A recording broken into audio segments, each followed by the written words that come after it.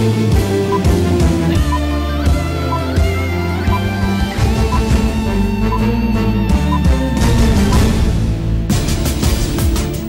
সংস্কারের দাবিতে আন্দোলন অব্যাহত সাত দিনের আলটিমেটাম কর্মসূচি স্থগিতের ঘোষণা প্রত্যাহার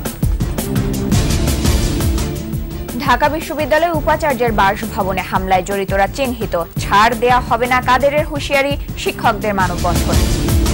বেসরকারি বিশ্ববিদ্যালয়ে ভ্যাট আরোপ নয় একনিকে প্রধানমন্ত্রীর নির্দেশ ষোলো প্রকল্প অনুমোদন খালেদা জিয়ার ঘাড় ও কোমরের সমস্যা মেডিকেল রিপোর্টের তথ্য কুমিল্লায় নাশকতার মামলায় জামিন না মঞ্জুর ঋণ কেলেঙ্কারির মামলায় ফার্মার্স ব্যাংকের চিষ্টি সহ চারজন রিমান্ডে একশো কোটি টাকা আত্মসাতের অভিযোগ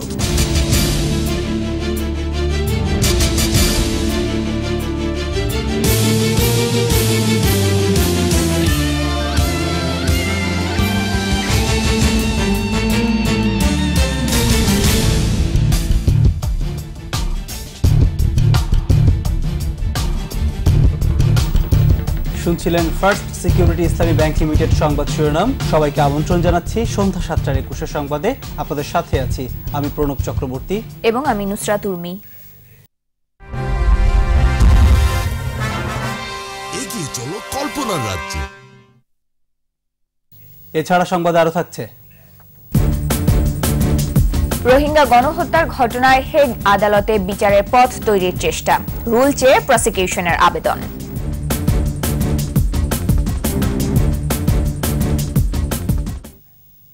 কোটা সংস্কার সহ পাঁচ দফা দাবি মেনে নিতে সাত দিনের আলটিমেটাম দিয়েছে আন্দোলনকারীরা ঢাকা বিশ্ববিদ্যালয়ের রাজু ভাস্কর্যে অবস্থান নিয়ে আন্দোলনকারীরা জানিয়েছেন সারা দেশের কলেজ ও বিশ্ববিদ্যালয়গুলোতে ক্লাস পরীক্ষা বর্জন অব্যাহত থাকবে সরকারের সাথে আলোচনা করে আন্দোলনকারীদের যে অংশটি আন্দোলন স্থগিত করেছিল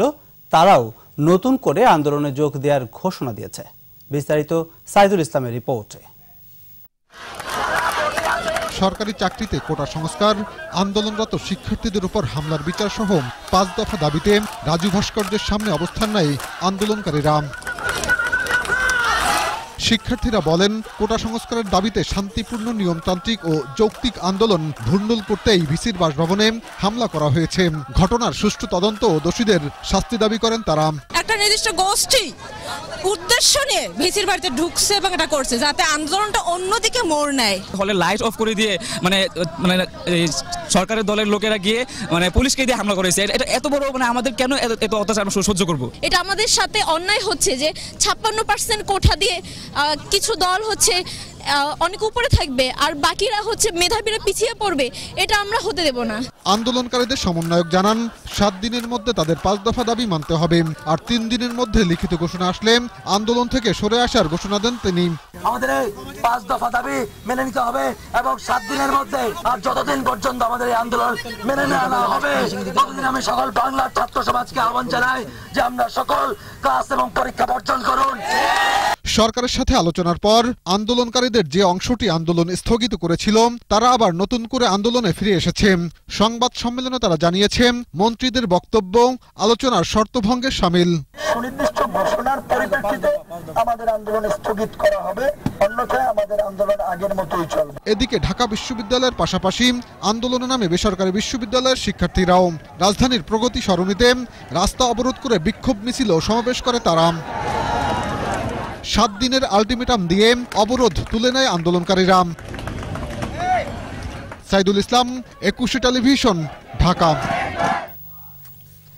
কোটা সংস্কারের দাবিতে দেশের বিভিন্ন স্থানে আন্দোলন চালিয়ে যাচ্ছে শিক্ষার্থীরা আন্দোলনকারীদের ওপর পুলিশে হামলার প্রতিবাদে তিন দিন ক্লাস ও পরীক্ষা বর্জন কর্মসূচি পালন করছে জাহাঙ্গীরনগর বিশ্ববিদ্যালয়ের শিক্ষার্থীরা এদিকে কোটা বহাল রাখার দাবিতেও বিভিন্ন স্থানে মানববন্ধন হয়েছে প্রতিনিধিদের সহায়তা মিজানুর রহমানের রিপোর্ট কোটা পদ্ধতি সংস্কার সহ পাঁচ দফা দাবিতে আজও বিক্ষোভ করেছে রাজশাহী বিশ্ববিদ্যালয়ের শিক্ষার্থীদের একাংশ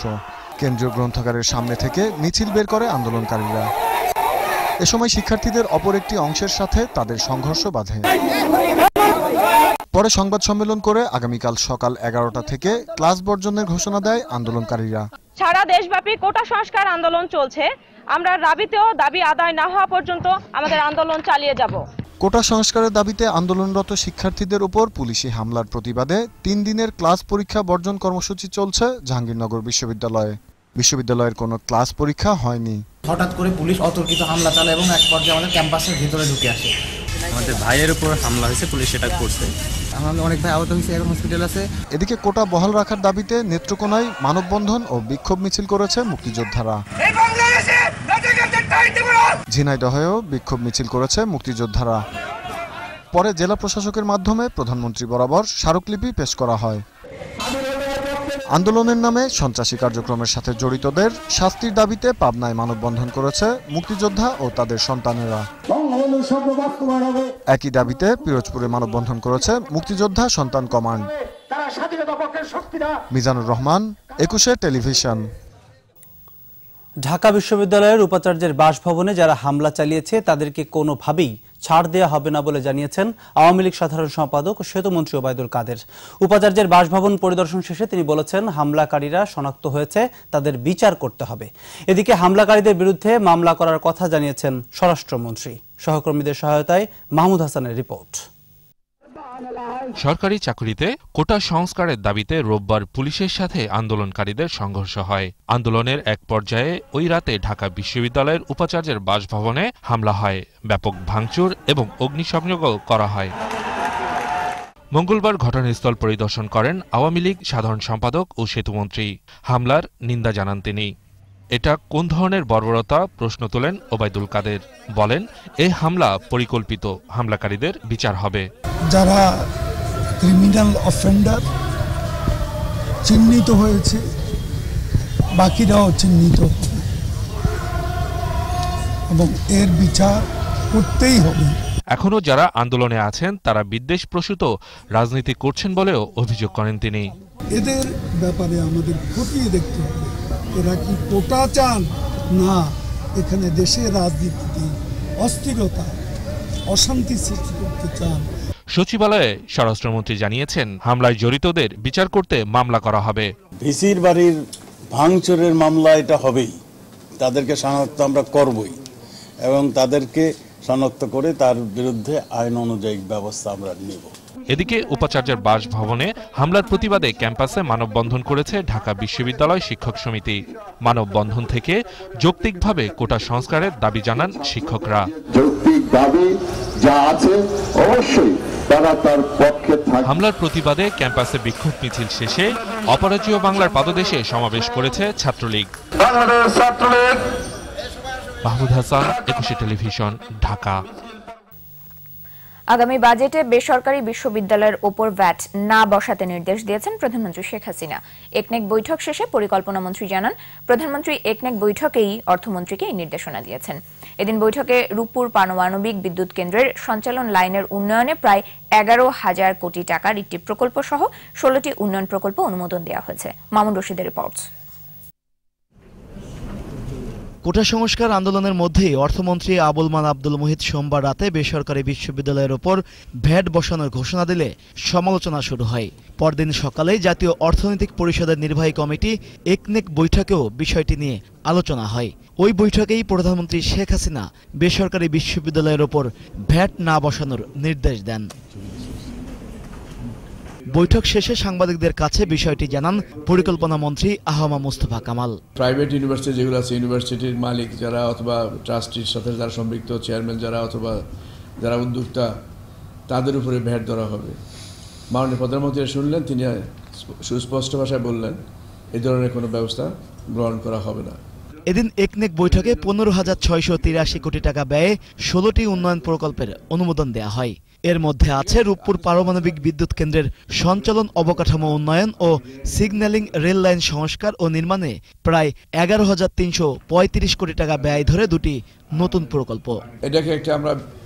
বিজনেস হাব হিসাবে যেহেতু আমরা তৈরি করতে যাচ্ছি এই পাওয়ার প্ল্যান্টটাকে ধরে হাত ধরে সুতরাং সেখানে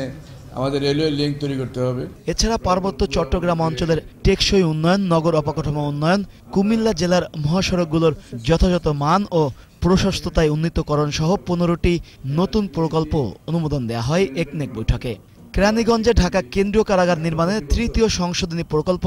অনুমোদন দেয়া হয় বৈঠক থেকে কুমিল্লা জোনের আওতায় মামুন রশিদ একুশে টেলিভিশন ঢাকা কুমিল্লায় বাস পুড়িয়ে আটজন হত্যা মামলায় বিএনপি চেয়ারপারসন খালেদা জিয়া জামিন পাননি শুনানির সময় সাবেক প্রধানমন্ত্রীর পক্ষে উপস্থিত ছিলেন বিএনপিপন্থী অন্তত পঞ্চাশ জন আইনজীবী রাষ্ট্রপক্ষ জামিনের বিরোধিতা করলে আদালত তা আমলে নেন জানাচ্ছেন আফসানা নীলা বাসে নাশকতায় আটজন নিহতের মামলায় খালেদা জিয়ার জামিনের শুনানি হয় কুমিল্লার সিনিয়র জুডিশিয়াল ম্যাজিস্ট্রেট মোস্তাইন বিল্লার আদালতে সাবেক প্রধানমন্ত্রীর আইনজীবীরা বলেন ওই ঘটনায় তাদের মক্কেলের জড়িত থাকার কোনো প্রমাণ নেই তাছাড়া তিনি অসুস্থ ও বয়স্ক তাই জামিন পেতে পারেন কোনো আসামি ও স্বীকারোক্তি দিয়ে বা কোনো সাক্ষী ওনার নাম বলে নেই সেহেতু উনি বৃদ্ধ মানুষ উনি জামিন পাওয়ার হকদার আমরা ফোর নাইনটি সেভেনে ওনার জামিন চেয়েছিলাম আদালত আমাদের আবেদন নামঞ্জুর করেছে আমরা এই আদাসের বিরুদ্ধে আপনাদের কুমিল্লা জেলা জজে আমরা জামিনের জন্য যাব শিগগিরই হাইকোর্টে বেগম জিয়ার জামিনের আবেদন করা হবে বলে জানান বিএনপির এই সিনিয়র নেতা ওখানে যদি ওনাকে জামিন না দেয় তাহলে আমরা হাইকোর্টে আসবো দু সালের তিন ফেব্রুয়ারি বিএনপি জোটের অবরোধ চলাকালে কুমিল্লার চোদ্দ গ্রামে বাসে পেট্রোল বোমা হামলায় মারা যায় আটজন আহত হয় ২০ জন ওই ঘটনায় খালেদা জিয়া সহ বিএনপির ছয় সিনিয়র নেতাকে হুকুমের আসামি করে সাতাত্তর জনের বিরুদ্ধে মামলা করে পুলিশ আফসানা নীলা একুশে টেলিভিশন ঋণ কেলেঙ্কারির মামলায় গ্রেফতার ফার্মার্স ব্যাংকের অডিট কমিটির সাবেক চেয়ারম্যান মাহবুবুল হক চিস্তিকে পাঁচ দিনের এবং তার ছেলে সহ বাকি তিনজনকে চার দিনের রিমান্ড দিয়েছেন আদালত এর আগে গুলশান থানায় মামলা করা হলে রাজধানীর বিভিন্ন এলাকা থেকে তাদের গ্রেফতার করা হয় তাদের বিরুদ্ধে একশো কোটি টাকা আত্মসাত ও মানি লন্ডারিংয়ের অভিযোগ এনেছে দুদক মিনালা দিবার রিপোর্টস একশো কোটি টাকা আত্মসাত ও মানি লন্ডারিংয়ের অভিযোগে মঙ্গলবার গুলশান থানার ফার্মাস ব্যাংকের অডিট কমিটির চেয়ারম্যান মাহবুবুল হক চিস্তি সহ ছয়জনের বিরুদ্ধে মামলা করে দুর্নীতি দমন কমিশন এরপরই রাজধানীর বিভিন্ন এলাকায় অভিযান চালিয়ে চিস্তি ও তার ছেলে রাশেদ ব্যাংকের এসভিপি জিয়াউদ্দিন এবং first vice president Masudur Rahman খানকে গ্রেপ্তার করা হয় গ্রেপ্তারের পর মাহবুবুল হক চিস্তি সব দায় চাপান ব্যাংকের পরিচালনা পর্ষদের উপর একটা ব্যাংকের একটা বোর্ড থাকে বোর্ডের বোর্ড ব্যক্তি রেখে আরও ক্ষমতা নাই যে একজন পরিচালক এককভাবে কিছু কি চেয়ারম্যান যে ছিল তারই আছে এখানে এখানে চেয়ারম্যান সাহেবের সম্বন্ধে আমি জানি না এটা রাজনৈতিক ব্যাপার দু সালে কার্যক্রম শুরুর পর থেকেই নানা অনিয়মে জড়িয়ে পড়ে ব্যাংকটি আস্থার সংকট দেখা দিলে টাকা তুলতে থাকে গ্রাহকরা পরিস্থিতির অবনতি হলে চেয়ারম্যানের পথ ছাড়েন সাবেক স্বরাষ্ট্রমন্ত্রী মহিউদ্দিন খান আলমগীর ও নিরীক্ষা কমিটির চেয়ারম্যান মাহবুবুল হক চিস্তি মিনালা দিবা একুশে টেলিভিশন ঢাকা মিয়ানমারে রোহিঙ্গা নির্যাতন ও বিতাড়নের ঘটনাকে মানবতাবিরোধী অপরাধ গণ্য করে বিচারের পথ খুলতে আন্তর্জাতিক অপরাধ আদালতে আবেদন করেছেন প্রসিকিউটর ফাতাউ বেন সৌদা ঘটনার বিচার আন্তর্জাতিক অপরাধ আদালতের আওতায় আসবে কিনা তা নিশ্চিত হতে রুল চেয়েছেন তিনি মহিতুন রেয়ার রিপোর্ট প্রাণ বাঁচাতে সাত মাস আগে এভাবেই নিজ মাতৃভূমি রাখেন ছেড়ে আসেন এসব রোহিঙ্গারা শেষ সম্বলটুকু হাতে নিয়ে পাড়ি জমান বাংলাদেশে মিয়ানমার থেকে যেভাবে সাত লাখ রোহিঙ্গাকে বাংলাদেশে বিতাড়িত করা হয়েছে তা এবার বিচারের আওতায় আনার প্রক্রিয়া নিয়ে ভাবা হচ্ছে বিষয়টির বিচার করার এখতিয়ার আন্তর্জাতিক অপরাধ আদালত আইসিসির আছে কিনা তা জানতে চাওয়া হয়েছে সোমবার আন্তর্জাতিক অপরাধ আদালতে করা এক আবেদনে এ বিষয়ে রুল চেয়েছেন আদালতের প্রসিকিউটর ফাতাও বেনসৌদা আবেদনে তিনি বলেন জোর করে কোনো দেশের বাসিন্দাদের আন্তর্জাতিক সীমানার বাইরে ঠেলে দেয়া সব দিক থেকে মানবতার বিরুদ্ধে অপরাধের মধ্যে পড়ে বাংলাদেশ এই আদালতের সদস্য হলেও মিয়ানমার এর সদস্য নয় তারপরেও বিচারের সুযোগ রয়েছে বলে সেই বিষয়ে যুক্তি তুলে ধরেছেন প্রসিকিউটর ফাতাও তার মতে আন্তর্জাতিক সীমানা অতিক্রম করে অপরাধটি ঘটছে এবং আদালতের সদস্য বাংলাদেশের ভূখণ্ড এর শিকার এই বিষয়ে নেদারল্যান্ডসের হেগের এই আদালত হ্যাঁ সূচক সিদ্ধান্ত দিলে লাখো রোহিঙ্গা নির্যাতনের তদন্ত ও বিচারের পথ উন্মুক্ত হবে বিষয়টি বিবেচনার আশ্বাসও দিয়েছেন আদালতটির magistrate entire communities. Mohitun Riya Ekushey television নিচ্ছে ইসলামী ব্যাংক বিরতি ফিরে এসে আরও থাকবে রাজধানীতে দুই বাসের চাপায় হাত হারানো কলেজ ছাত্র রাজীব লাইফ সাপোর্টে অবস্থা আশঙ্কাজনক গাজীপুর ও খুলনায় বিএনপি মনোনীতদের স্বাগত জানালো নেতাকর্মীরা আধুনিক নগরী গড়ে তোলার অঙ্গীকার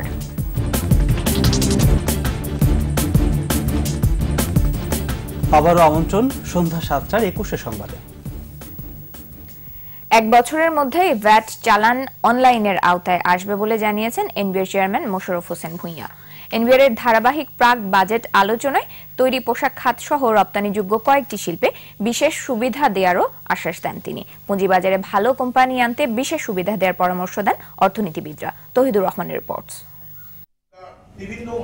আসন্ন বাজেট উপলক্ষে ধারাবাহিক আলোচনার অংশ হিসেবে অর্থনীতিবিদ ও বিভিন্ন গবেষণার প্রতিষ্ঠানের সাথে এনবিআর এর বৈঠক শিল্পোন্নয়নে বাজেটে কিছু সুবিধা রাখার পরামর্শ দেন বক্তারা তারা বলেন অন্য অনেক দেশের তুলনায় করের হার এখনও বেশি এ হার কমানোর তাগিদ দেন তারা পুঁজিবাজারের দিকে নজর দেওয়ারও সুপারিশ করেন তারা টোয়েন্টি ফাইভ পার্সেন্ট এখন লোই যে ক্যাটাগরিতে আছে সেটাকে আরো একটু ফাইভ পার্সেন্ট যদি কমিয়ে দিতে পারেন some of them will offer to get listed with the Dhaka stock exchange বিডির উপর একটু হ্যামারিং করতে হবে এটা করতে পারলে আমার মনে হয় যে এক্সট্রা কয়েক হাজার কোটি টাকা রেভিনিউ এখান থেকে বের করা যাবে ইনসেন্টিভ সিস্টেমে আমরা যদি ব্যালেন্স না আনতে পারি তাহলে হবে কি রপ্তানির মানে উৎসাহটা কম থাকবে বিশেষ প্রণোদনা যথাযথ ব্যবহারের নজরদারি বাড়ানোর পরামর্শ আসে প্রাক বাজেট আলোচনা থেকে এবং ট্যাক্স বেনিফিটটা বেশিরভাগ ক্ষেত্রেই অর্ডিন্যান্সে দেখা যায় যে একটা কোম্পানি ফর্ম করলেই পাওয়া যাচ্ছে সভার আলোচনা শুনে সবশেষে এনবিআর চেয়ারম্যান জানান কর্পোরেট ট্যাক্স কমানোর বিষয়টি ইতিবাচকভাবেই দেখা হচ্ছে বকে আদায়ে এবার চোদ্দ এপ্রিলের পরিবর্তে পনেরো এপ্রিল ভ্যাট ও ট্যাক্স অফিস খোলা থাকবে বলেও জানান তিনি লিস্টেড কোম্পানিগুলির জন্য কর্পোরেট ট্যাক্সের যে বেনিফিট এটা আর একটু অ্যাট্রাকটিভ করা ফ্যাট অনলাইন প্রজেক্ট আছে এর মাধ্যমে ট্রেডিং এর ক্ষেত্রে আর কি রিটেল ট্রেডিংয়ের ক্ষেত্রে এসিআর এটা আমরা মনে হয় আমরা আগামী এক বছরের মধ্যে পারবো তো নাকি এক বছরের মধ্যে পারবো আশা করি যারা বকেয়া শোধ করবেন তাদেরকে বিশেষ প্রণোদনা দেওয়া হবে বলেও জানান এনবিআর চেয়ারম্যান তারা আমাদের পুরস্কার গ্রহণ করবেন তৌহিদুর রহমান একুশে টেলিভিশন ঢাকা সরকারি চাকরিতে কোটা অবশ্যই থাকবে তবে তা সংস্কার করা উচিত বলে মন্তব্য করেছেন অর্থমন্ত্রী আবুল মাল আব্দুল মুহিত বিকেলে সচিবালয়ে অর্থ মন্ত্রণালয়ের সভাকক্ষে তিনি বলেন সরকারি চাকরিতে কোটা কত অংশ থাকবে তা নিয়ে আলোচনা হতে পারে পিছিয়ে পড়া জনগোষ্ঠীকে এগিয়ে নিতেই কোটা প্রথা থাকতে হবে বলেও জানান মন্ত্রী তিনি বলেন আসন্ন বাজেটের পর ছাপ্পান্ন শতাংশের কোটা অবশ্যই সংস্কার করা হবে কারণ কোটায় প্রার্থী পাওয়া যায় না মন্ত্রী আরও জানান বেসরকারি বিশ্ববিদ্যালয়ের উপর ভ্যাট আরোপ করা হবে না তবে মালিকদের আয়কর দিতে হবে কোটা থাকতেই হবে তবে কত পার্সেন্ট থাকবে সেটা নিয়ে প্রশ্ন উঠতে পারে তবে এখন যেটা হয়েছে অনেক বেশি কোটা বোধহয় হয়ে গেছে too much has been taken over by quota keeping the married people to a great disadvantage এটাও সংস্কার করা উচিত একজন বলেছেন আমাদের কোনো মন্ত্রী যেটা সংস্কারের চিন্তাভাবনা হচ্ছে অন্যদিকে শিক্ষার্থীদের শান্তিপূর্ণ কর্মসূচি ভিন্ন খাতে নিতেই হামলা ভাঙচুর এবং এর জন্য ছাত্রলীগকে দায়ী করেছেন বিএনপির সিনিয়র যুগ্ম মহাসচিব রুহুল কবির রিজভি নয়াপল্টনে দলের কেন্দ্রীয় কার্যালয়ের সংবাদ সম্মেলনে তিনি বলেন কোটা সংস্কারের দাবিতে শিক্ষার্থীরা দীর্ঘদিন ধরে আন্দোলন করে আসলেও সরকার তাদের দাবি না মেনে নানা কৌশল করছে এ সময় তিনি আরও অভিযোগ করেন ব্যক্তিগত চিকিৎসকদের দিয়ে খালেদা জিয়ার চিকিৎসা সেবা থেকে বঞ্চিত করা হচ্ছে এমনকি সরকারি মেডিকেল বোর্ড তাকে অর্থোপেডিক বেড দেওয়ারও সুপারিশ করলেও এখন পর্যন্ত সেটি সরবরাহ করা হয়নি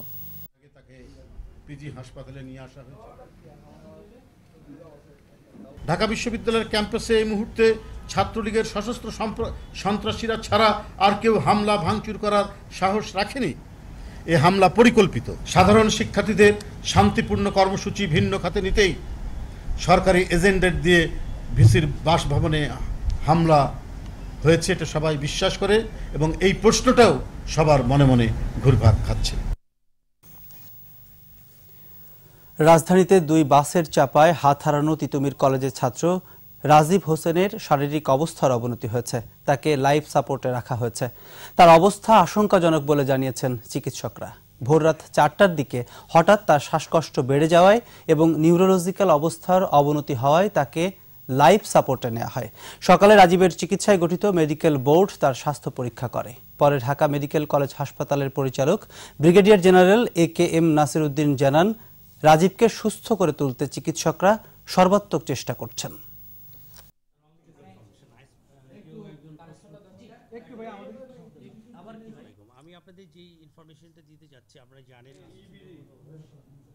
শারীরিক কন্ডিশন খুবই ক্রিটিক্যাল এতে কোনো সন্দেহের অবকাশ নাই অত্যন্ত জটিল অবস্থার মধ্যে দিয়েই তার শারীরিক অবস্থা এই মুহূর্তে যাচ্ছে আমরা আমাদের সর্বোচ্চ যে চেষ্টা সেগুলি আমাদের অব্যাহত আছে আমরা আবার কিছু সিটি স্ক্যান সহ অন্যান্য কাজগুলো করছি এবার বিশেষ আয়োজন স্বল্পোন্নত থেকে উন্নয়নশীল বাংলাদেশ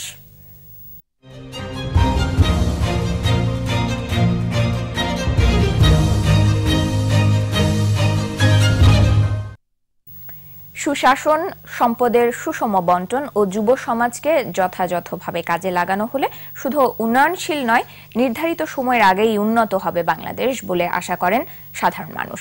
ভ্যাট ট্যাক্স আদায় দক্ষতা বাড়ানোর পরামর্শও দেন তারা আর চাহিদার আলোকে শিক্ষা প্রবর্তনের তাগিদ দিয়েছেন ব্যবসায়ীরা লক্ষ্য অর্জনে সরকার কাজ করছে বলে জানান স্বাস্থ্যমন্ত্রী মাহমুদ নাসিম তহিদুর রহমানের আরও একটি রিপোর্টস স্বল্পোন্নত থেকে উন্নয়নশীল দেশের কাতারে পৌঁছার প্রাথমিক স্বীকৃতি পাওয়ায় আনন্দিত দেশবাসী দু সালে চূড়ান্ত স্বীকৃতি মিলবে এমন পরিকল্পনায় এগুচ্ছে সরকার কিন্তু উন্নয়নশীল দেশ হলে সাধারণ মানুষের কি উপকার হবে বা কি করলে উন্নয়নশীল দেশের চূড়ান্ত স্বীকৃতি মিলবে এমন প্রশ্ন করা হলে সুশাসন ও দুর্নীতিমুক্ত বাংলাদেশ গড়ার তাগিদ দেন সাধারণ মানুষ এটাকে ধরে রাখার জন্য আমাদের ইয়ং জেনারেশনে চলে আগে আসতে হবে দুর্নীতি দমন করলে সবার চেয়ে আগে আগে আসবে দেশটি আমি মনে করি দেশের টেকসই উন্নয়ন দরকার আর দেশে যা সীমাবদ্ধ সম্পদ আছে এই সম্পদের সুষম বন্টন দরকার ফ্লাইওভার সড়ক সহ বিভিন্ন উন্নয়ন কর্মকাণ্ড আরও বাড়ানোর পক্ষে মত দেন অনেকেই প্রান্তিক ও যুব সমাজকে কাজে লাগানোর কথাও বলেন তারা এই যে ট্রাভেলিংয়ে আমাদের যে ডিস্টার্বনেস এই ডিস্টার্বনেসটা গভর্নমেন্ট চাইলে অন ব্যাপার উন্নয়নশীল দেশ হলে পরে অবশ্যই জ্যামটা থাকবে না এত তবে টেকসই উন্নয়নে পরিকল্পনার পরামর্শ ব্যবসায়ীদের দু সালে দেশের মোট জনগণের পঁচাত্তর শতাংশ কর্মক্ষম হবে তাই বিপুল এই জনগোষ্ঠীকে দক্ষ হিসেবে গড়ে তুলতে ব্যবসায়ী সমাজও কাজ করতে ইচ্ছুক বলে জানান তারা যুব সমাজকে অ্যাক্টিভভাবে কাজে লাগাতে হবে এলপিজি এলএনজি এবং তার সাথে আপনার টু থাউজেন্ড থার্টির আগে আপনার এই আপনার ইলেকট্রিসিটি এখন আমাদের পনেরো হাজার মেগাওয়াট আছে এটা তিরিশ হাজার মেগাওয়াটের মধ্যে আসতে হবে প্রান্তিক পর্যায়ের যারা উদ্যোক্তা তাদের অবস্থা কিন্তু মোটেও ভালো নয় এইখানে মূল সমস্যাটা কিন্তু নীতি নির্ধারণে এই জায়গাটিতে সরকার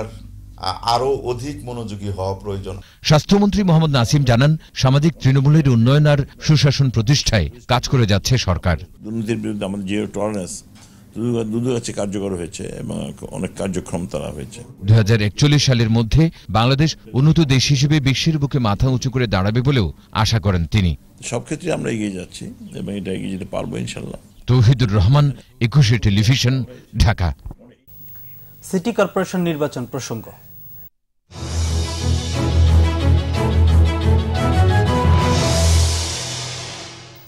গাজীপুর ও খুলনা সিটি নির্বাচনে মেয়র পদে বিএনপির মনোনয়ন পেয়ে পরিচ্ছন্ন ও আধুনিক নগরী গড়ে তোলার অঙ্গীকার ব্যক্ত করেছেন হাসান উদ্দিন সরকার ও নজরুল ইসলাম মঞ্জু এদিকে নিজ নিজ এলাকায় তাদের স্বাগত জানিয়েছেন দলের নেতাকর্মীরা ভোটের মাঠে পুরনো অভিজ্ঞতা আর বর্তমান পরিস্থিতির সমন্বয় করেই এগিয়ে যেতে চান বিএনপির দুই প্রার্থী খুলনা প্রতিনিধি মহেন্দ্রনাথ সেন ও গাজীপুর প্রতিনিধি অপূর্ব রায়ের সহায়তায় আরও জানাচ্ছেন রাশেদুল আলম রাসেল গাজীপুর সিটি নির্বাচনে বিএনপির মনোনয়ন পাওয়ায় হাসান উদ্দিন সরকারের বাসায় জড়ো হন নেতাকর্মীরা ফুল ও ধানের শীষ দিয়ে অভিনন্দন জানান তাকে সে সময় হাসান উদ্দিন জানান বর্তমান পরিস্থিতি ও আগের নির্বাচনী অভিজ্ঞতাকে সমন্বয় করে সব পর্যায়ের নেতাদের নিয়ে কাজ করতে চান তিনি পরিবেশ এবং পরিস্থিতির উপরে দুটিকে সমন্বয় করে আমাকে সামনে বাড়তে হবে কারণ আজ থেকে বিশ বছর আগের অবস্থা আজকের অবস্থা এক নয় ভোটের মাঠে বিএনপিকে দৃঢ় অবস্থানে রাখতে সক্রিয় থাকতে চান নেতাকর্মীরা আমরা একজন সঠিক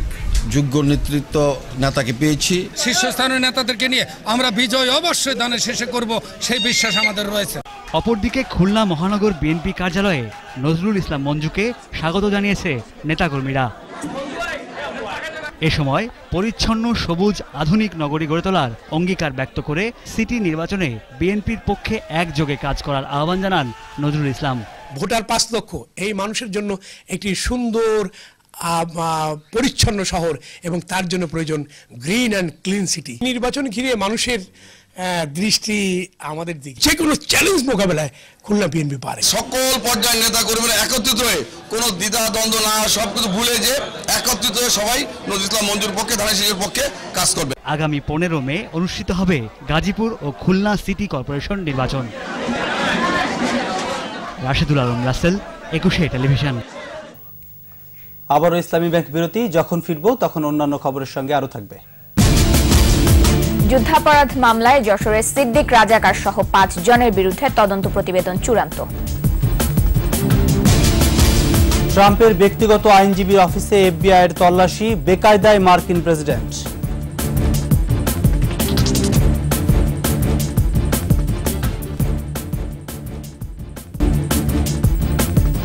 আবার আমন্ত্রণ দেখছেন সন্ধ্যা সাতটার একুশে সংবাদ মানবতাবিরোধী অপরাধের অভিযোগে যশোরের মনিরামপুরের সিদ্দিকুর রহমান সহ সিদ্দিকুর রহমান গাজী সহ পাঁচজনের বিরুদ্ধে চূড়ান্ত তদন্ত প্রতিবেদন প্রকাশ করেছে আন্তর্জাতিক অপরাধ ট্রাইব্যুনালের তদন্ত সংস্থা মঙ্গলবার রাজধানীর তদন্ত সংস্থার কার্যালয়ে এক সংবাদ সম্মেলনে এই প্রতিবেদন প্রকাশ করা হয় সংস্থার প্রধান সমন্বয়ক আব্দুল হান্নান খান জানান একাত্তরে আটক নির্যাতন হত্যা ধর্ষণ সহ মানবতাবিরোধী অপরাধের ছয়টি অভিযোগে যশোর জেলার মনিরামপুর থানার সিদ্দিক সহ পাঁচজনের বিরুদ্ধে তদন্ত সম্পন্ন হয়েছে এ মামলায় আসামি ছিলেন তেরো জন এর মধ্যে গ্রেপ্তার আছেন একজন পলাতক চারজন আর মারা গেছেন আটজন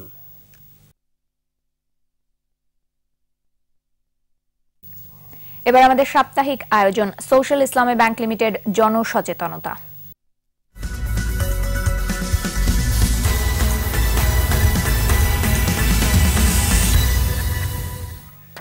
সাতক্ষীরার শ্যামনগরের তালবাড়িয়া গ্রামের ময়না রানী জ্বালানি সংকট নিরসনে লোকায়ত জ্ঞান ও দক্ষতা কাজে লাগিয়ে তৈরি করছেন পরিবেশ বান্ধব চুলা দক্ষিণাঞ্চলের মানুষের কাছে এটি বন্ধু চুলা নামে পরিচিত বর্তমানে ময়না রানী স্থানীয় বিভিন্ন সরকারি বেসরকারি প্রতিষ্ঠানে চুলা তৈরির প্রশিক্ষক হিসেবে কাজ করছেন সাতক্ষীরা প্রতিনিধি মনিরুল ইসলাম মিনির রিপোর্ট জানাচ্ছেন মাসুম আলিসা অসুস্থ স্বামী আর চার শিশু সন্তানের খাবার জোগাড় করতে একসময় দিশেহারা হতে হতো সাতক্ষীরার শ্যামনগর উপজেলার তালবাড়িয়া গ্রামের ময়নারানীকে তবে পরিবেশ বান্ধব চুলার উদ্ভাবন বদলে দেয় তার জীবনের গতি নিজের মেধা কাজে লাগিয়ে ক্ষতিকর কার্বন নিঃসরণ রোধ ও জ্বালানি সাশ্রয়ী পরিবেশ বান্ধব চুলা উদ্ভাবন করেন ময়না রানী প্রায় পনেরো বছর ধরে সাতক্ষীরার শ্যামনগর কালীগঞ্জ আশাশুনি দেবহাটা সাতক্ষীরা সদর ও খুলনা জেলার কয়রা উপজেলার শতাধিক গ্রামের প্রায় ছয় হাজার পরিবারে তৈরি করে দিয়েছেন এই চুলা ঘরেও ধোঁয়া লাগবে না হাড়িতে কোনো কালি লাগবে না চুলো ছাইও তোলা লাগবে না একমুখী দ্বিমুখী ত্রিমুখী চুলা তৈরি করেন ময়না রানী বর্তমানে স্থানীয় বিভিন্ন সরকারি ও বেসরকারি প্রতিষ্ঠানে প্রশিক্ষক হিসেবে কাজ করছেন তিনি বেসরকারি সংস্থা বার্ষিক অফিসে আমার আগাগোড়া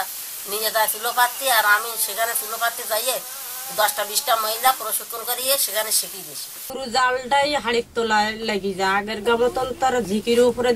চারিদিকতে জাল ছড়িয়ে যাবে ইতোমধ্যে পরিবেশ ও বন মন্ত্রণালয় সরকারি বেসরকারি বিভিন্ন সংস্থা থেকে ময়না কাজের স্বীকৃতি স্বরূপ পেয়েছেন সম্মাননা সত্তর পার্সেন্টের থেকে ফিফটি পার্সেন্ট কাঠ কম লাগে বিভিন্ন প্রকারের চুলা এই চুলাটা তৈরি করে আসলে দেশের সম্পদ সংসারে সহযোগিতা করতেছে ময়নারানী পরিবেশ বান্ধব চুলা তৈরির এর প্রযুক্তি ছড়িয়ে দিতে চান সারা দেশে এজন্য প্রয়োজন সরকারি পৃষ্ঠপোষকতা মাসুম আলিসা একুশে টেলিভিশন বাণিজ্য সংবাদ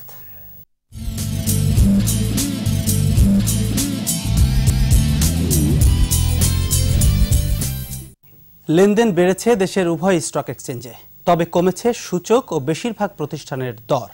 মঙ্গলবার ডিএসসিতে লেনদেন হওয়া তিনশো আটত্রিশটি প্রতিষ্ঠানের মধ্যে দর বেড়েছে একশো বাইশটির কমেছে একশো চুরাশিটির আর বত্রিশটি প্রতিষ্ঠানের দর অপরিবর্তিত ছিল ডিএসসির প্রধান সূচক ডিএসসির এক্স প্রায় বিশ পয়েন্ট কমে নেমে আসে পাঁচ হাজার আটশো